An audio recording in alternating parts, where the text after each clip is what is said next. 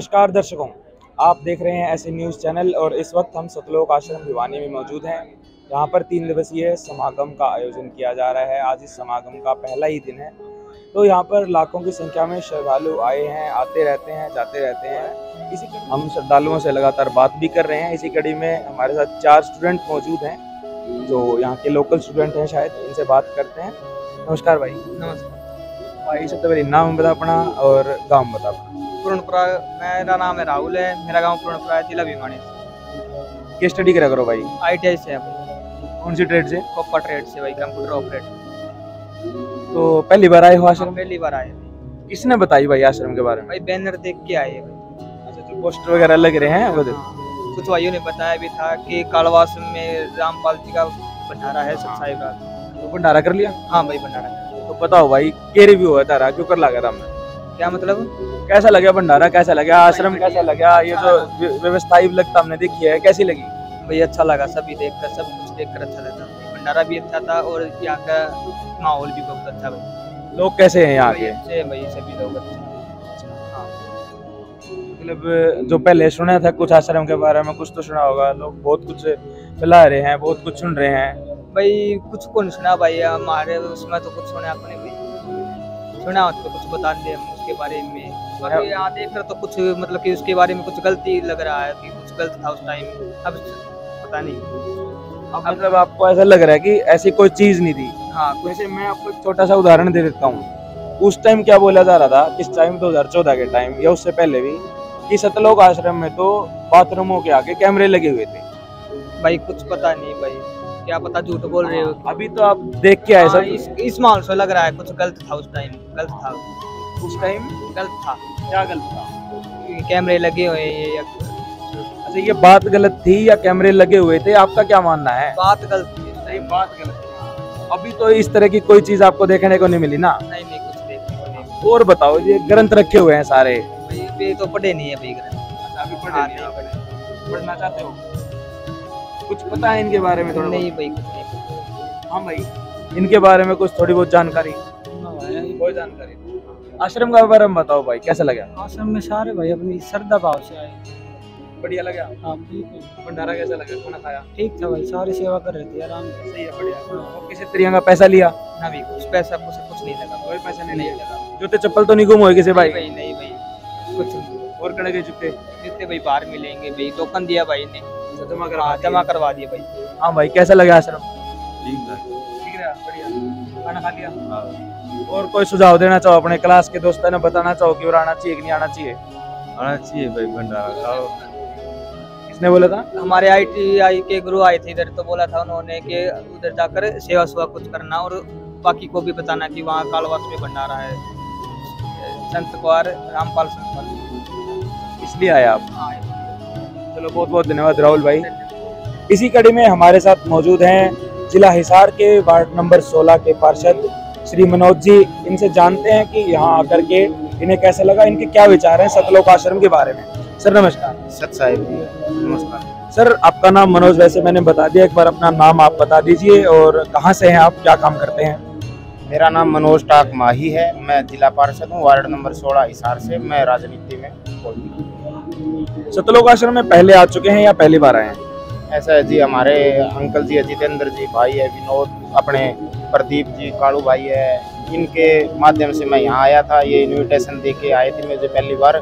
तो अब मैं चौथी बार यहाँ आश्रम में आया हूँ। तो काफ़ी अच्छा लग रहा है। आश्रम में क्या क्या चीज़ें अभी तक आपने देखी हैं? आश्रम में जैसे ही हम यहाँ आए तो एक तो अनुशासन देखा सबसे पहले तो। कोई भी संगठन हो चाहे वो एक धार्मिक संगठन हो राजनीतिक हो जहाँ अनुशासन अच्छा होता है वो एक यूँ कह सकते हैं कि वो संगठन की मजबूती होती है और एक कामयाब होने का सूत्र है। अनुशासन बहुत है, जैसे पार्किंग गाड़ी लगाई, उसके बाद में हमने यहाँ आके किताबें देखी है और प्रदर्शनी देखी और खास करके जो बातें आज मेरे को पहली बार पता लगा कि जो अपने, हमारे चारों वेद है, ऋग्वेद, सामवेद, उसमें से जो ज्ञान है, जो हमारा सदियों से चला रहा है, वही ज्ञान आज संत रामपाल जी के द्वारा लोगों के बीच में उसी का प्रचार प्रसार किया जा रहा है जो कि एक बहुत ही अच्छी बात है एक काबिल भंडारा ग्रहण किया सर अभी तक आपने? भंडारा भी ग्रहण कर लिया प्रसाद भी कर ली बहुत ही अच्छा भंडारा बहुत ही देसी की लोगों का व्यवहार कैसा है? जो लोग यहाँ पर सेवादार हैं उनका व्यवहार कैसा रहा? ऐसा जी व्यवहार तो बहुत ही अच्छा है। हर एक जैसे हम खाना लेते हैं जल के पीछे भी राम लगा के बोला जाता है। और प्रसादा के पीछे भी राम, जैसे भाई हर एक चीज़ में राम का ही गुणगान है। भाई ऐसे बहुत ही अच्छा अनुशासन है हर एक चीज़ में भक्ति, आपका भक्ति का रस नज़र आएगा। जब तक आप सतलोक आश्रम में पहली बार नहीं आए थे, आपने सुना भी नहीं था, कभी देखा नहीं था तब तो तब आपके क्या विचार थे संत रामपाल जी के प्रति? या जो बातें, जो पहले घटनाएँ हुई, तब बताई गई, मीडिया में दिखाई गई, उसके बाद आपके क्या विचार थे? ऐसा है जी, जब तक हम किसी की सुनी सुनाई बात मैंने आपके बारे में कुछ से, आपसे मिला ही नहीं। आपके बारे में सुना ही सुना है और वो भी नेगेटिव सुना है। तो सीधी सी बात है कि हमारे दिमाग में आपके प्रति पॉजिटिव तो कुछ होगा नहीं। आपके बारे में मैं तब जान पाऊँगा जब मैं आपसे मिलूँगा या आपके आसपास के जो लोग हैं उनसे मिलूँगा। अब बाहर तो क्या चीज़ें चल रही है? बाहर तो हमने पॉजिटिव नहीं सुना था, पर यहाँ आए तो यहाँ का माहौल देखा जो आज से एक साल पहले आया था मैं। तो जो माहौल देखा बहुत ही अच्छा शानदार जो एक होना चाहिए। सत्संग भक्ति बहुत ही एक पवित्र बढ़िया जगह इन्होंने बनाई हुई है। तो मतलब जो पहले देखा था उससे काफ़ी अलग लगा आपको? पहले जो सुना था आपने? उससे तो जी हमने सुना तो इस साइड का था निकला इस साइड का। यानी बिल्कुल अपोजिट सुन रखा था हमने। ईमानदारी की बात तो ये है कि क्योंकि हमने तो अखबार में पढ़े थे और वही बात है जब किसी के बारे में कुछ सत्य पे चलते हैं जो सत्य के मारे पे परेशानियाँ तो आती है और वही है। एक सवाल मेरा ये है सर कि आप पॉलिटिकल बैकग्राउंड से आते हैं और ये ऑर्गेनाइजेशन एक नॉन पॉलिटिकल ऑर्गेनाइजेशन है। तो आपको क्या प्रेरणा मिलती है सर जो आप यहाँ खींचे चले आते हैं बार बार ऐसा है जी देखो कोई भी हो वहाँ एक तो खासकर राजनीति की बात करूँगा तो कोई भी पार्टी हो वहाँ एकता होनी ज़रूरी है। अनुशासन होना ज़रूरी है और एक ईमानदारी होनी ज़रूरी है, मेहनत होनी ज़रूरी है। अब यहाँ देखा मैंने अनुशासन भी देखा, ईमानदारी भी देखी यहाँ आके मैंने और जो एक ईमानदारी काम के प्रति ईमानदारी तो जिस प्रकार से सेवा कर रहे थे भगत जन अपनी ड्यूटियाँ दे रहे थे तो यही एक संगठन को कामयाब करने की चीज़ें होती है।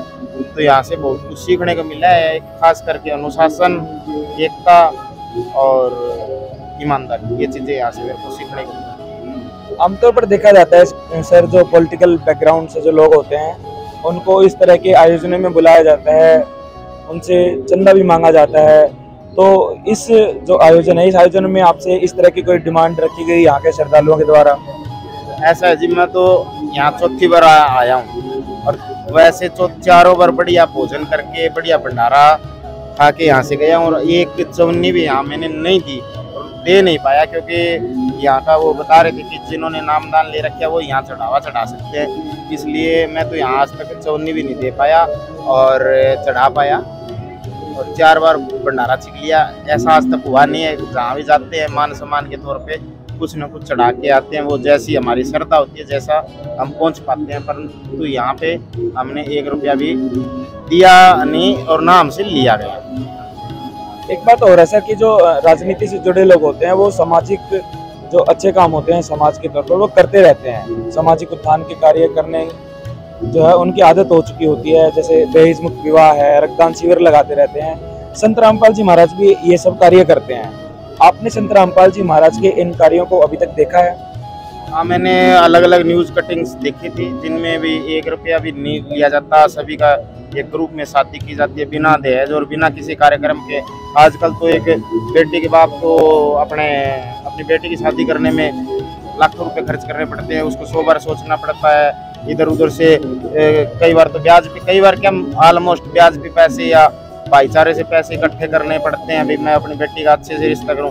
ये जो एक परंपरा है, बिना बिना खर्चे के और बिना दहेज के, बहुत ही अच्छी लगी। और जो उन्होंने बताया, रक्तदान के बारे में भी, रक्तदान शिविर भी लगाए हैं। आज भी इस भंडारे में भी काफ़ी हज़ारों की संख्या में यूनिट इकट्ठे होंगे। ये मानव सेवा का बहुत अच्छा काम है। सर, जो आपकी टीम के लोग हैं, जो आपकी फैमिली के लोग हैं, या जो आपके पॉलिटिकल सर्कल में लोग हैं उनको आप क्या संदेश देना चाहेंगे सतलोक आश्रम के बारे में? मैं उनको संदेश देना चाहूँगा कि जैसा हमने सुना है, उसके विपरीत है हमने ज़्यादातर नेगेटिव सुना है, उसके विपरीत है। आप सबको एक बार अवश्य यहाँ आना चाहिए सतलोक आश्रम में और जो महाराज जी के विचार भी सुनने चाहिए। उसके बाद में आप खुद जजमेंट करें, ना कि किसी की सुनी सुनाई बात पे। अगर आपको भाई कुछ चीज़ें प्रभावित करें तो आपको अवश्य जुड़ना चाहिए। बहुत बहुत धन्यवाद सर। मनोज जी हमसे बात करने के लिए। तो दर्शकों सतलोक आश्रम भिवानी में लगातार श्रद्धालुओं का आना जाना लगा हुआ है। लाखों की संख्या में इस वक्त श्रद्धालु आश्रम के अंदर मौजूद हैं। तो बातचीत का सिलसिला जारी है। हमारे साथ संत रामपाल जी महाराज के अनुयायी इस वक्त मौजूद हैं। इनसे हम एक सटीक प्रश्न का सटीक जवाब जानने की कोशिश करेंगे। नमस्कार सर। सच्चाई जी। सर सबसे पहले अपना नाम बताइए। कहाँ से हैं आप? चांदीराम इशारे से। सर, अभी जब हम आश्रम के अंदर आ रहे थे तो बाहर एक फ्लैक्स पे लिखा हुआ है, संत रामपाल जी महाराज के उद्देश्य तो उसमें एक पॉइंट आता है कि भ्रष्टाचार मुक्त भारत बनाना। ये बात तो सर हर कोई बोलता है, कोई राजनेता, नेता, जब कोई चुनाव लड़ने आता है, सबसे पहले यही बात बोलता है कि भ्रष्टाचार मुक्त भारत बनाएँगे। संत रामपाल जी महाराज ना तो कोई राजनेता है, ना कोई नेता है, ना किसी संवैधानिक पद पर है। उल्टा वो तो जेल में है। तो ये काम वो कैसे मुमकिन करेंगे? ऐसा है जी कहने में और करने में बहुत अंतर है। संत रामपाल के शिष्य ना रिश्वत लेते हैं, ना देते हैं। अब कहने का मतलब ये आ गया, अगर वो कहते हैं, कहने के बावजूद भी लेते हैं तो भ्रष्टाचार मुक्त नहीं हो सकता। पहले अपना मानो, पहले हम जब भ्रष्ट, भ्रष्टाचार फैलाएँगे हम किसी रिश्वत ना लेंगे, ना देंगे तो धीरे धीरे धीरे धीरे ये समाज आगे चलेगा पूरा भ्रष्टाचार मुक्त हो जाएगा। इसमें क्या दिक्कत है? कानून कायदे से ना भ्रष्टाचार मुक्त हो सकता ना हुआ पहले भी नहीं हुआ आगे भी नहीं होगा। अपने आप को साफ़ करो पहले भ्रष्टाचार मुक्त अपने आप को तो ये बात की गारंटी है कि संत रामपाल जी महाराज का कोई भी अनुयायी रिश्वत नहीं लेता और नहीं देता है। हंड्रेड परसेंट सौ परसेंट गारंटी है जी। बिल्कुल भी रिश्वत ना देते हैं ना लेते हैं। सर और क्या क्या नियम है संत रामपाल जी महाराज के? कुछ मुख्य पॉइंट्स बताइए दर्शकों के लिए। संत रामपाल के शिष्य या मालिक की एक मर्यादा है। उस मर्यादा के तहत भक्ति करनी होती है। सबसे पहले है धूम्रपान, नशा किसी तरह का नहीं करेगा।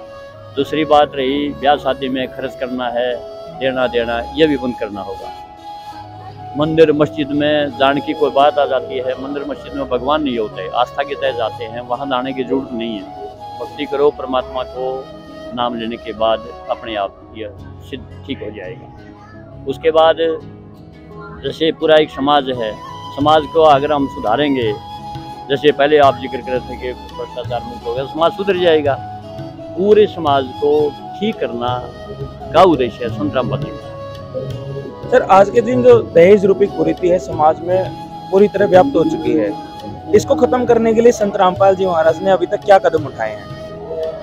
देखो जी मेन चीज़ चलती है ज्ञान से।